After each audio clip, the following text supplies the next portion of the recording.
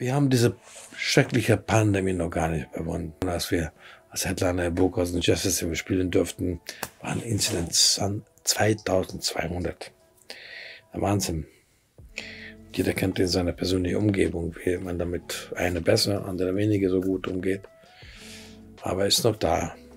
Und ähm, die wirtschaftliche, gesellschaftliche Folgen können wir noch gar nicht ermessen.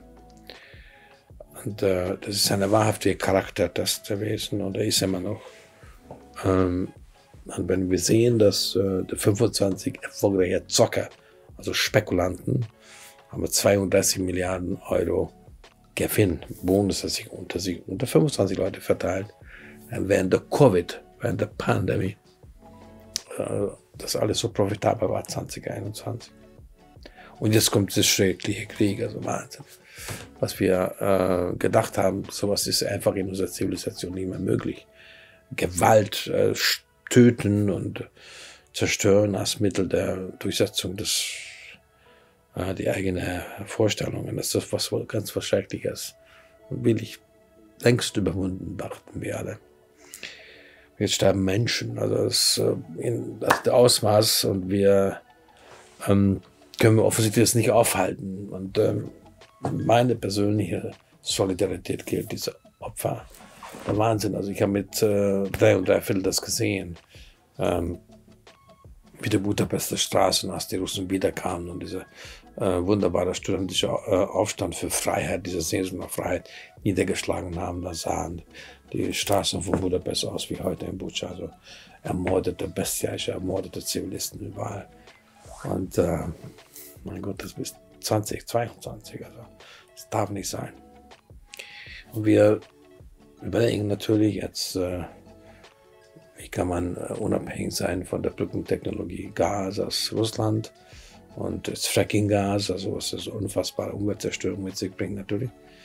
Und äh, Kernkraftwerke etwa eventuell länger laufen lassen, Kohlenkraftwerke wieder hochfahren und und und.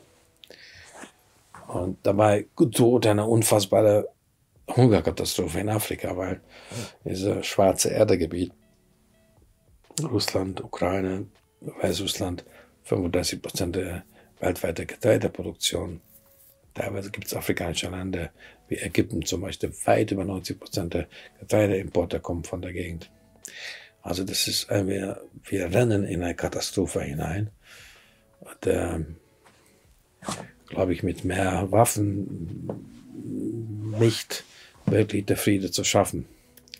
Äh, ich glaube, eine druckvolle Verhandlung ähm, und eine wirklich äh, eine Aufklärung, was das für Wahnsinn, was wir hier machen, äh, tut jetzt Not. Also, weil das ist unglaublich. Menschen sterben und äh, Schulen, Krankenhäuser, Theater, Universitäten, Wohnhäuser, alles wird zerstört. Also das ist so ein un unglaublicher äh, Anschlag auf daran, das, was wir als europäische Werte ansehen. Und gerade deshalb dürfen wir es nicht vergessen, dass wir unsere Kinder versprochen haben, als Old Rebels, für die Young Rebels, ähm, dass wir die Klimakatastrophe aufhalten werden. Und jetzt ist äh, Pandemie und dann ist jetzt Krieg und das darf nicht aus dem äh, Blickwinkel fallen. Deshalb ist es so wichtig, der, dass solche Filme wie The Story of a New World, dass wir alle unterstützen. Und ähm, bin sehr glücklich und für mich äh, äh, empfinde ich das ein ehrenvolles Privileg, hier mich engagieren zu können oder zu dürfen, weil das ist wichtig weil wir müssen A Story of a New World schreiben. Weil wo es Friede herrscht, wo es Freiheit herrscht, wo äh, vor allem Generationsgerechtigkeit herrscht. Und ähm, wenn wir unsere Erde für unsere Kinder und Enkelkinder bewahren wollen, dann müssen wir jetzt alle miteinander aufpassen, dass wir die Klimakatastrophe macht nämlich keine Pause wegen der Pandemie und auch keine Pause äh, wegen dieses schrecklichen erbarmungsloser, unmenschlicher, zerstörerischer, mörderischer Krieg. Deshalb äh, lass uns alle gemeinsam diese wunderbare Film unterstützen, Story of a New World. Das braucht die Menschheit jetzt und gar nicht morgen.